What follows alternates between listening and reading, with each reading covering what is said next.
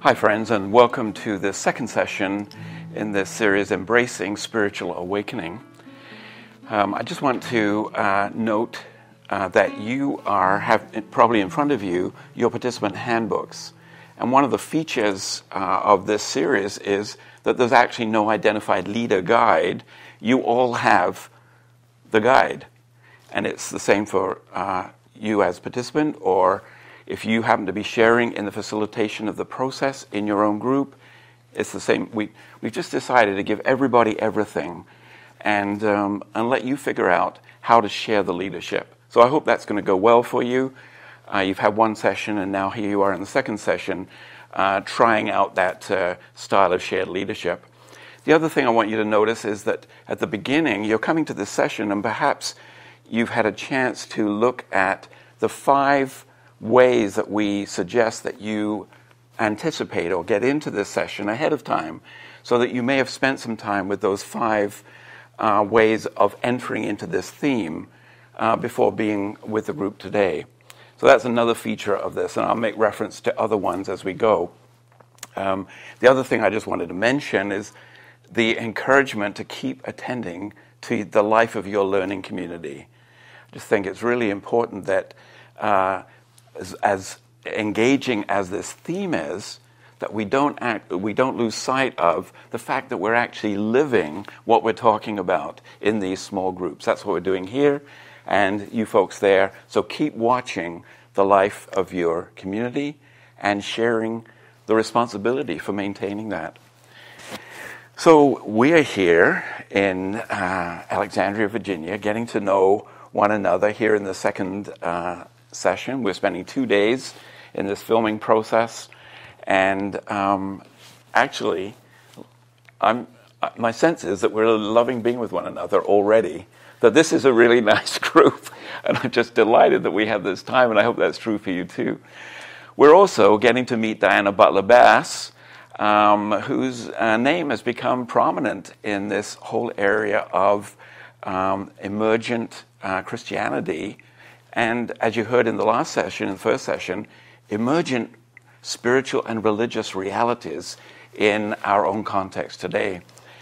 Diana, as you've already seen, is an energized and visionary person. Uh, it's great to be actually be with her.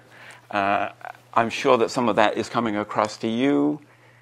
In this session, Diana is bringing is going to introduce to us the three B's uh, and you're going to find that material in your study guide, and with an emphasis on believing.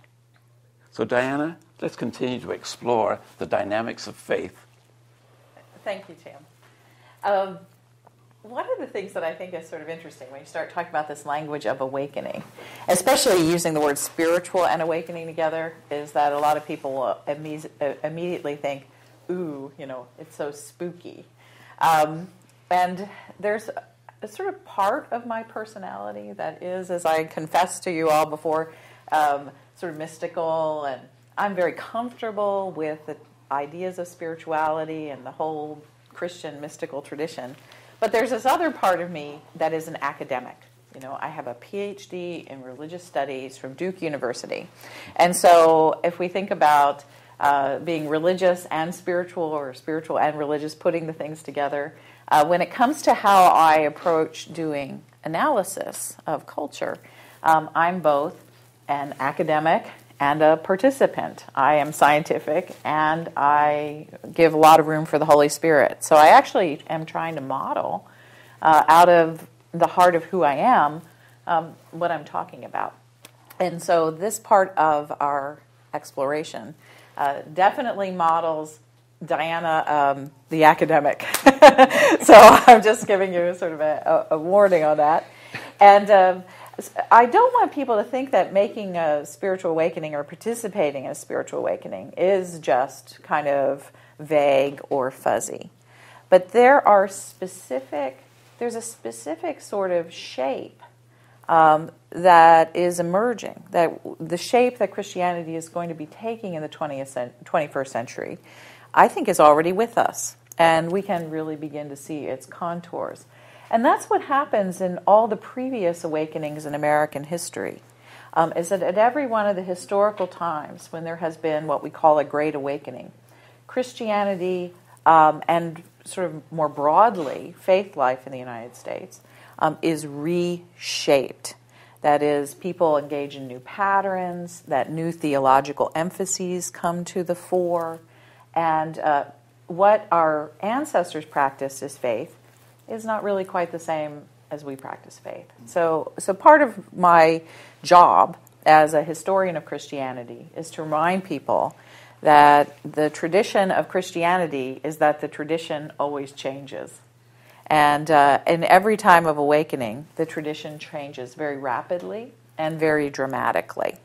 And I think that's one of the places we are right now, is that Christianity itself is being reshaped uh, by these cultural changes and also by new sorts of internal questions uh, that are arising. So I like to help people understand this. Uh, so that part of it is we're not afraid of what's coming. Um, and the way that I have been approaching it for the last couple years is uh, to do something that's very basic in the study of religion. Uh, now, here I'm not talking about religion as organized religion or the way it's popularly used, as we talked about in the last program. But here I'm talking about it, I'm going to give you a definition of religious studies or, or religion as used in religious studies classes uh, to sort of frame this program and the next two. Um, sometimes when I'm, uh, I'm in conversation with someone in the world and they ask me what I do, and I'll, I'll say I have a a PhD in religious studies, people say, Is that a real thing? You know? and I'll say, Yes, you can really get a PhD in religious studies. And they'll say, Well, exactly how do you do that? Do you do you pray a lot and then you get graded on it, or and, and I say no, no, it's actually science. Um, and what we do is we look at, and I've, I've given uh, given all of you a handout here we look at uh, these three things that are on uh, the page. Uh, we study what people believe, what they what their understandings are of God and the world, the universe, cosmology, all these different kinds of things. Uh, we study how people act, uh, what their behaviors are um, related to those beliefs, and acting includes uh, stuff like worship or uh, life rituals, um, baptism and uh, growing up rituals, uh, wedding rituals, um, how people end, you know, funeral rituals, things like that. Um, and then finally, the third area is how how these two things, how believing a particular way, and how a particular set of ritual acts uh, gives human beings a sense of belonging to one another or to a particular sort of tribe. And so, um, in religious studies classes, uh, this would be uh, an outline for a first semester class in, in religious studies, uh, where the teacher would uh, basically go through each one of these areas, and then you would usually explore a group of different religions and try to analyze them using this process. So you would look at something like a Seneca Indian tribe from the 18th century in upstate New York or uh, in Ontario. And then you could look at uh, 16th century Protestantism or 5th century uh, Roman Catholicism, or you can look at today. And uh, so you take whatever group you're exploring whatever their religious tradition is, and you begin to analyze all three of these things. And so when you talk about religious studies, um, that's what we're talking about how human beings uh, believe, how they behave in relationship to those beliefs, and what that does for their sense of identity, where they belong. And so when I was thinking about spiritual awakening, I, I realized that, um, you know, having this background, I realize that there are sort of conventional ways that we've understood uh, believing, behaving, and belonging. Um, those of us who have been part of church communities perhaps in our whole lives, or just sort of have grown up in a culture that was a bit, bit more church than it is, um, is that there's this sort of conventional pattern of these three things. And then there's this pattern, the shifting pattern. There's, there's something new that is occurring. So instead of just saying, oh, we're moving into a sort of emergent future and everything is changing, which basically scares the bejesus out of most people. what, what I actually think is happening is that we are not just going to a place where everything is going to be new. Human beings in the 21st century, whether they're Christians or Muslims or Buddhists or whatever their, their faith tradition is, human beings in the 21st century are still going to believe, they're still going to behave in interesting ways related to those beliefs, and we are still going to have senses of belonging that are related to these other two. So we're not leaving that behind. Um, that whole human enterprise of these three B's is moving with us um, into the future. What is changing is what the questions are under each category.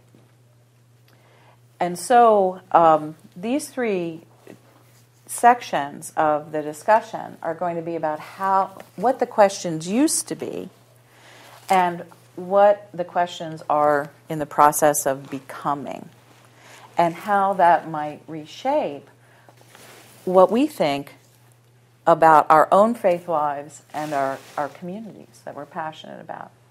So, the first one uh, to explore is uh, the question of believing or under, understanding. And I, I, gave a sample question on this slide, uh, which is a simple kind of question Do you believe God exists? And so you kind of get what this question is going towards uh, conceptualizations of, of faith.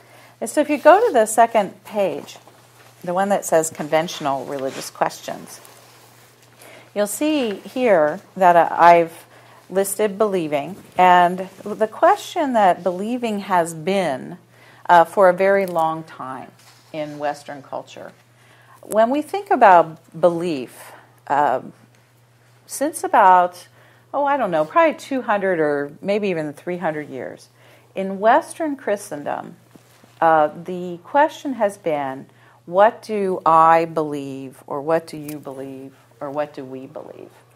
And the expectation when you ask the question, what, is that you'll get some information uh, that tells your, your neighbor, uh, what you think about God or what you think about the church or the sacraments or how the church should be arranged or whether or not there's infant baptism. And so we say, well, I believe that or uh, we believe that. So we're giving people information. Um, the what question about belief is a very powerful question. And it is one that was necessitated uh, by historical events a few hundred years ago. Uh, if you think about when you're in late medieval Europe and the Reformation happens, you had a Catholic church, and then all of a sudden, this huge historical rift, and there's not just one church in Western Europe anymore, but now there are five. Before the Reformation, the what do Christian, Christians believe question for a long time wasn't very significant because it was sort of just assumed uh, throughout Europe that everybody was Christian, that everybody was Catholic, and everybody sort of believed the same thing. And so the what question wasn't terribly important. But when you have five religious traditions after uh, about 1600 contending for the loyalty of people, they have to be very clear about what they believe. And so Christians went really to school in this great enterprise uh, for a couple hundred years of organizing their belief systems so that it was very clear what Lutherans believed, what Anglicans believed, what Mennonites believed, et cetera, et cetera, et cetera. Uh, we organized all those answers into things that we refer to as creeds and doctrine. And sometimes you hear people use the word dogma. And so, if anybody ever has asked you the question, What do you believe? Um, it's actually a very simple question to answer. You can tell them to look it up on the internet. you can hand them a, a, a, usually those one a creed is essentially a one page summary of what you believe you can hand them that one page summary in form of a creed, or, you know, nearly every denomination has a book that's entitled something like What Presbyterians Believe or What Lutherans Believe. So you can send them to your pastor, and you can say, Pastor can tell you, you know, or. Uh, so, so that's the, the what question. And we are very used to that question. Um, I'd really be interested in, in, in, how you respond to this because a, a few years ago, I realized that despite the fact that believing is about what, hardly anybody in my life has ever asked me the question, What do Christians believe? Or what do I believe? Um, the only people who have ever really seriously engaged me on a question about sort of doctrinal information about what Christians believe are some Muslim friends um, occasionally Jewish friends, but not even really that much. Yeah, Jews in America and I think in Canada mostly assume that they know what Christians think because they're around so many Christians, um, and and um, that's really about it. Uh, so when I think about the what question, it's almost kind of an empty space in my life. People just don't ask me that question. People assume that they know what I think when they hear that I'm a Christian. And so this is the way that I think the question has changed. And, and this would be on the third, the third sheet that you have. Is that I think that we've moved from the conventional question towards an experiential question. I listed as, I call it a spiritual question on this particular handout because it's about how we experience belief people will ask me the question, and sometimes multiple times in a single day um, How do you believe that? Um, I'll be in a line at Starbucks and just sort of randomly in a conversation with, uh, with a, a complete stranger about something related to religion. And they'll say to me, Oh gosh, oh, you're a Christian. Well, I would be a Christian, but I just don't know how to believe that believe in Jesus. Or um, when I've talked to people about potentially becoming churchgoers, uh, you know, I say, well, I go to this church and it's a nice place and we have good community. They'll say, well, I would sort of like to go to church, but I don't know how I could ever recite the creed. How do you do that? I just don't believe that. I just don't believe in that. Uh, and then there's the classic, uh, it comes up once in a while, even around the dining room table with my own uh, child. Is like, well, I don't know, really know how to be a Christian and be a, and and to believe in science at the same time. Um, or how in the world do you believe in this virgin birth thing and still seem like you're a really rational, intelligent, functioning human being in the 21st century? And so, if we pay attention to our lives, it, it really sort of strikes me that this becomes the question is that people are not nearly as concerned about what we believe anymore, but people are asking us for how we believe it. And ultimately, um, this how question is people are requesting from us to tell our experience of being a Christian person and how we put these pieces together in our lives and in our in our theological and philosophical kinds of worldviews. You know, how does this make sense to you? They're asking us for how it has meaning to us. And so this is a much harder thing to do. Um, back in the conventional sort of world, if somebody asked us what we believe, they weren't asking us personally uh, uh, really anything. They were simply asking us for information. And we could hand them a piece of paper that was fairly objective, or we could tell them to talk to our priest or minister. And we weren't necessarily having to invest our own selves in the answer. Oh, this is what Christians believe. We believe in God, Father Almighty, etc. But now people are saying, how do you do it? How do you make sense of this story that you claim marks your life, your life, this story about Jesus? And how does that story connect to your life in the world? How do you think about science? How do you think about politics? How do you think about moral life? How do you engage it? And so people are asking us now not just for our ideas about God, but instead are asking us to, in a very real sense, give us their, our story, give them their, our story about the convictions that frame our lives. And that can be very intimidating uh, for people to engage in. Uh, but it is a huge switch. And I think that this is the new question. The how question has become the primary question of belief in our time. Diana, thank you. That was uh, very rich, and I just felt myself being drawn in a whole lot of directions.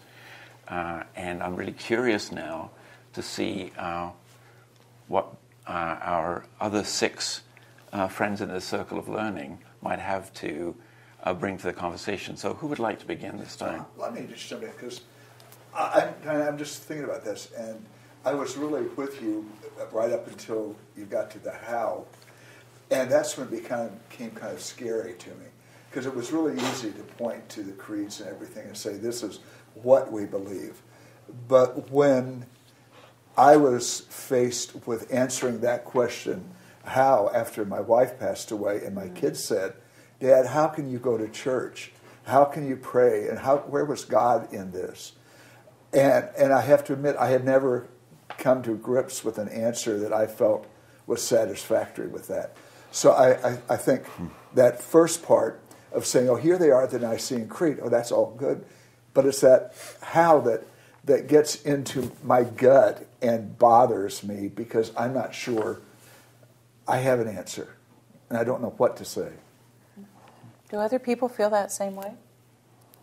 Well, I, I have a similar um, um, experience because I grew up in a very evangelical conservative church. And we were always taught at, a, at an early age to witness to people and that you, ex, you expressed your beliefs to people in general and to help bring them um, closer to God and Jesus. Um, and then when I joined the Episcopal Church, we had someone stop by the house who was on a mission trip from one of those uh, evangelical churches and ask me what I believed. And my first thought was, okay, well, here's what I believe, and I started with the creed. And when she, when I got to the part of, of Jesus, she's like, "You actually believe in Jesus?" And I'm like, "Well, yes." But that made me start thinking again of the of the the how and that it's a very personal thing. And I think because I had that tradition at a young age um, of, of witnessing and, and talking about my faith, I felt a little more comfortable. And maybe it's that in a more reserved um, traditional um, denomination that we haven't been taught how to express our witness and express our beliefs of how we believe. Mm-hmm. There was a very powerful how question that arose just recently. Um, after those children were shot at the school in Newtown, Connecticut, I was on the phone with uh, my best friend who happens to be an atheist. And um, we were talking about the spiritual, uh, the, the memorial service that was held right afterwards. It was televised, that President Obama uh, spoke at. And uh, she I, I could literally hear her almost over the phone shaking her head. And she said, See, it's, it's things like this that I don't know how it is that you can be a Christian. You know, this, this kind of evil and the answers that I'm hearing from religious people in the world, she says, This makes no sense to me. How does your faith account for the murder of these children? And I was actually, I mean, I'm pretty I, I, I feel like I'm pretty able to deal with how questions. I'm pretty in, intentional about thinking in this way. And when she said that, I was literally silenced, a little like you were saying, or, you know, I didn't know what to say. And because she asked it um, in such a kind of forceful way, I, I just confessed to her. I said, You know, I don't know how. And I have to say that I'm pretty upset by this. And she said, and then she said to me, You know what? In this very real sense, that's all I want to hear you say. She said, I don't want to hear the easy answer coming from Christians on this one. She said, I want to hear you say, You don't know how. And, and I thought, well, there's a moment. You know, she led me to a place to understand um, my own doubt, which is part of our spiritual lives, my own doubt a lot more.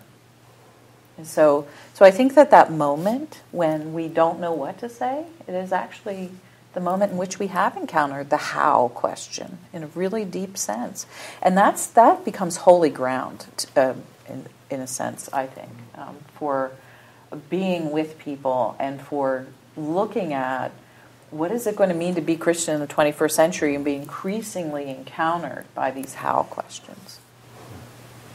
And the how changes. It changes with, as my mom says, just living. And it changes with your experiences. And it changes with time. And I can think of two times where I thought I knew the how. It was the how I was living. And then something so I thought um, impossible happened. One was my husband died. And I had gone through all of the stages of adjusting, one to his illness and then to his dying, and thinking, okay, so I'm living in a place where I never thought I would be, living like I thought I would never live, and experiencing growth of the how in ways that I didn't think it could grow. And then I sort of became comfortable with that how. And then all of a sudden, I found that my kidney was dead, and now I was going to be a transplant. I was going to be a, a kidney dialysis patient for as long as that would last, which could be three or four years. So now it's the how to gracefully prepare that you might be dying. And then I thought a lot of the restraints that I had on my life, I didn't need to put them there anymore because I wouldn't really be here that long. So you don't have to save for 20 years. You're not going to be here 20 years. Mm-hmm. So many things that I thought, this is how I have to behave. No, I really don't. I can. It freed me to feel ways that I didn't think I could feel. And then I got a transplant. So now I had to pull back. Well, well now wait a minute. You are going to be here for 20 years. You do need to save. You do need to be nice to people because they're they're going to be here longer than three years. so the how developed a growth that I didn't think I would have to face. Yeah. And and then it goes back to what my mom says, just keep living and what you don't understand, you may develop a way to understand it or you may learn to live with so I don't have to know everything and understand everything. Put it in the hands of God, He knows. That's a beautiful testimony to the, the very thing that I try to explain um, in the book that I wrote and when I'm doing this kind of work on the road. Uh, that is an experiential, you're explaining the experience of belief. And that's, that's really what I'm talking about here. Is what does it mean to experience belief, not just be able to have a piece of paper uh, where you can give the same answer over and over and over again.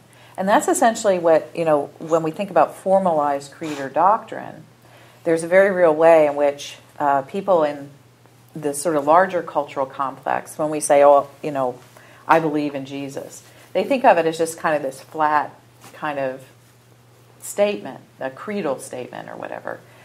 Uh, but if we can begin to explain how, in terms of our stories and how how our belief changes over time, um, and that becomes a much different engagement with people. It's not just handing them a piece of paper saying this is what Christians are supposed to believe, but this is how I have experienced belief.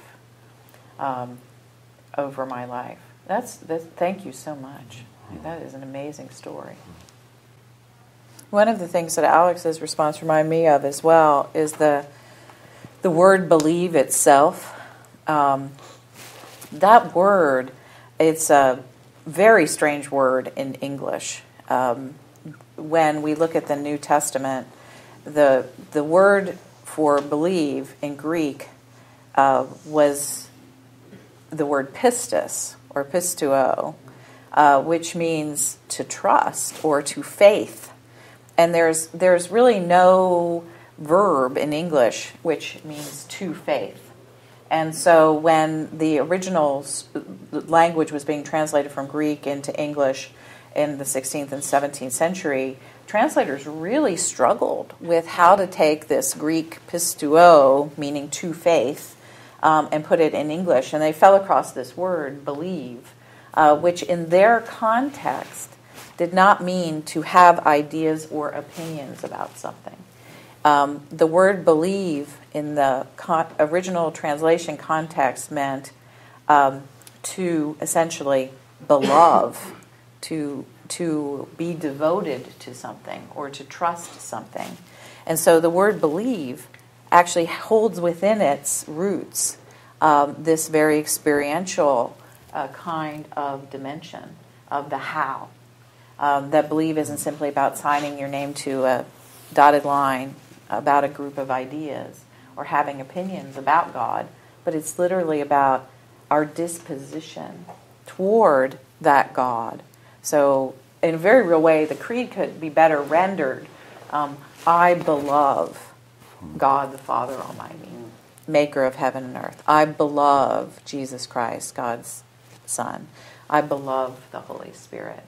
And that um, I, I, kind of always wish that the uh, Episcopal Church Liturgical Commission would take my uh, my suggestion here and give us a better translation. You don't have to change anything else in the creed, but can you imagine if we just switched those couple letters there in the word believe and we switched it to beloved, how that would change what happened in worship? Um, wow. I mean, that to me just explodes my heart to think that that to move towards that more experiential place about the loving of God or the trusting of God. Yeah, I was sitting here when I was hearing everybody's stories and thinking, when you talked about that question, I wasn't really thinking about events in my life. I was thinking about intentional spiritual practices that I do. And that's how I believe. And it's, it's shaped me. I'm kind of like a spiritual uh, junkie, spiritual practices junkie. I try like lots of different things, and I love them. I, from icon work to uh, just meditation to different types of prayer and reading scripture and prayer, and and that really shows me how to believe. It, it forms me and shapes me and and informs me in many different ways, and it's become um, quiet time that that I cherish very much. That's a lovely place to take us to, Sharon. Um, I've been thinking about you know, what is the key to this kind of um, way of being, and the the thing that I had oh, I was thinking about was the practice of being present. Like it really calls on us to be present to one another in very particular ways if we're going to uh, live this kind of believing, beloving of one another, beloving of the journey. So what is the what are the practices? And I think Diana, we may be moving on in the next session to some consideration of practice. Um, but it, it's kind of there, and I'm interested to pursue that further. But for now, this is wonderful. Thank you for responding. Thank you, Diana, for moving us in this way. And folks, I can only imagine the kind of conversations, exploration that you would uh, now have, and I hope it's every bit as rich as the one that we're having here in Alexandria on this sunny day in March 2013. Over to you, folks.